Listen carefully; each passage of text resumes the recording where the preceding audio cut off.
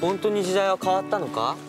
屋敷も清き水も半生時代のようだ。今も生活用水だよ。水奉行が健在なのか？まさか。思い出して太陽の光がうまい優しい甘さでしょ？妻にも食べさせたかった。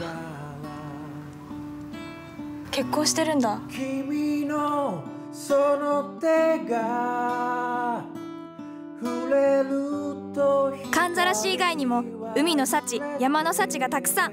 さあ美味しい旅へ。ビジット。天草島原